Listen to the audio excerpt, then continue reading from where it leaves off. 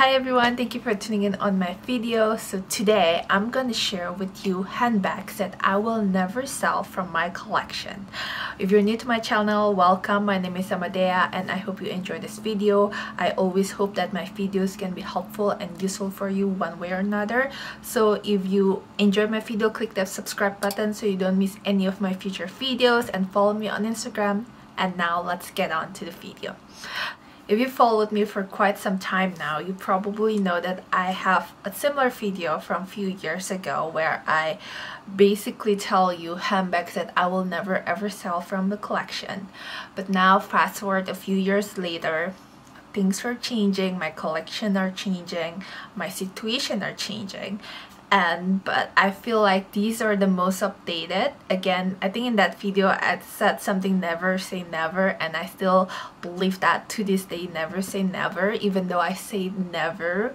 You never really know what's the future right about the future but I think at this moment this is what I feel very strongly and I feel like some of these bags even I mentioned uh, the same bag uh, in that video. If you want to check it out I'm gonna link it down below so for some of this I feel like that's just a for sure that I will never ever sell. But okay so without further ado first bag is this Saint Laurent wallet on chain.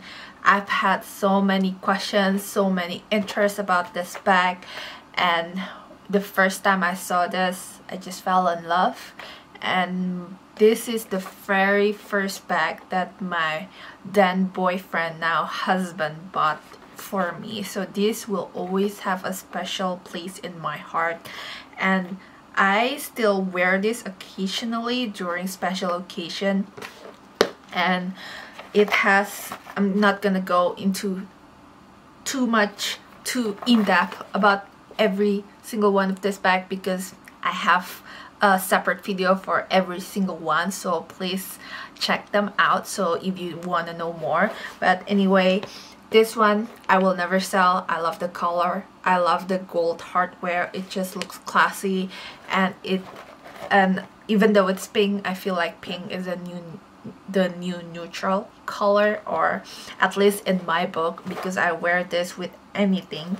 And it has this gold chain which kind of gives the bag more agier and fancier vibe. That's that's what I really really like.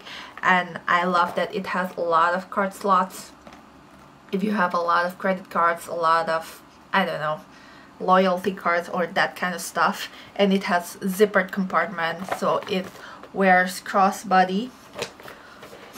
Like so it it wears crossbody which looks really nice or you can always tuck in the chain inside or even take it off completely and wear it as a clutch. So I love this. It has held up very very well over I think I've had this for five five about five years and it still held up very very well and I really really like it.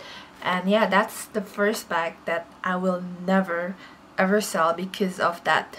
Not because of just the beauty of it but because the the history behind it. I think most of this bag, the reason I'm not selling is not just because I love the look of the bags, but because of the history behind it.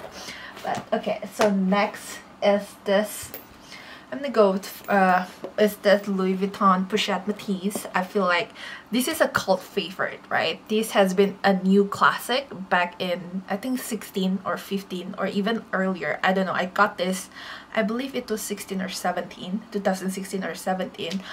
It was really really hard to find. I feel like this is still hard to find to this day and I got this I got this out of luck because it was suddenly listed um, in stock on the website so I just bought it.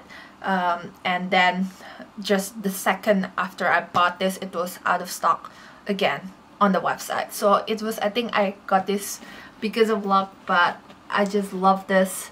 This is the Pochette Métis in the classic monogram and I still think this is very very classy. This is very very I don't know it just it's fancy. It has that kind of vintage looking vibe but it also modern. At the same time I have uh, my bandeau like protecting the handle just because I do have a little bit watermark from my trip to Vegas a few years back. And I still even have the plastic on the on the hardware. I just couldn't get myself to uh, to remove it but I guess I should. So I this is how I store my bag. I used um I used this thing to just to keep it in shape and some paper just some tissue paper to keep it in shape. It has three different compartments and the lining is suede I believe. And it just looks really really classy. And this is the kind of bag that I wish to pass on to my daughter someday. And yeah I still love this bag so much to this very day. So I can't I don't see myself selling it ever because even after this five years I've had this this is still a very highly coveted handbag in the market so I love that about this bag. Okay, so next is this uh, Chanel Square Mini and just just the Chanel Square Mini itself it's just so darn cute. It's just so, so adorable but one feature that I really like about this bag is just the chain itself right? The chain on the the other Chanel classic bag like the jumbo and uh, not the jumbo the medium or uh, large the ML uh, size was too long on me. And then uh, uh, the chain not too long too short. Love the chain. The chain on the other uh, Chanel classic the medium one is too short on me and then the wallet on chain is too long but this one falls perfectly on me. So I really really love wearing this to parties or to special occasion. Really love wearing this because of the the length of the chain and I just love how simple it is and how compact how small. It still fits my iPhone 11 but I actually just upgraded my phone to uh, iPhone 13 Pro Max. So this I haven't even tried this. We'll see if it fits. And and it does. It does fit but uh, it just barely fit. But let me see. So it does fit on the back. Just barely. So that's perfect. It still fits my iPhone Pro 13 Pro Max which is perfect. And I do keep it uh, with stuffing to help keep the bag in shape. So and I got this from my very first trip with my husband to Italy to Rome Italy. So it still has a special place in my heart. And I love the color. I love everything about it. So this is just by far my favorite Chanel out of all the Chanel that I have by far. So speaking of Chanel so the next bag that I don't think was in the previous video because this is um, this is uh, relatively a newer bag in my collection is this pink vintage Chanel which I think is from the 19, 1995 or 1994 I don't remember. I don't remember what year this bag is from but I got this from pre-love market. I sent it to a, a bag spa. So they clean it up they restore it they clean the hardware they clean the leather.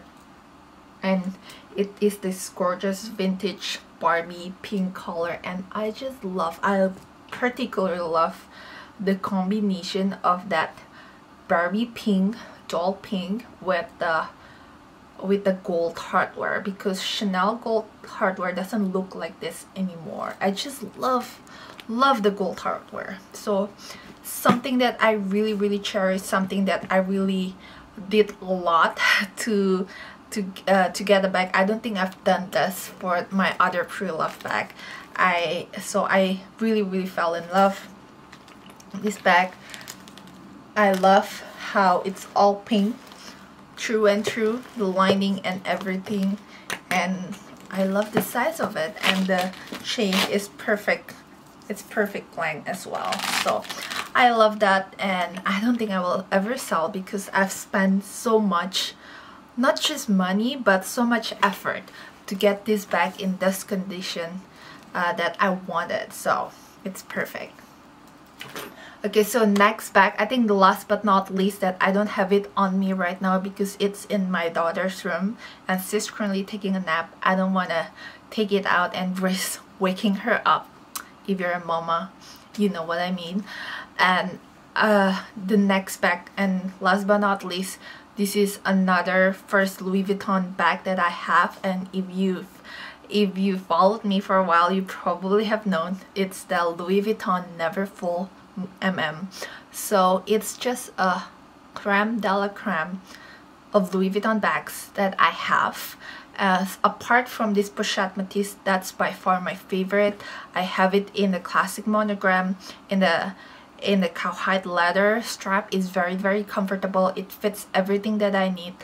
And I just love that bag. And I don't think and it's been a classic for so many people for so many years and I just don't see myself not having it. So it's it's a staple in my collection and I love I love love love that bag so much. So I think that's all uh, handbags that I will never sell for my collection. Thank you guys for watching. If you have any questions list it in the comment down below. I'm gonna make sure to answer them and I'll see you guys in the next one. Bye bye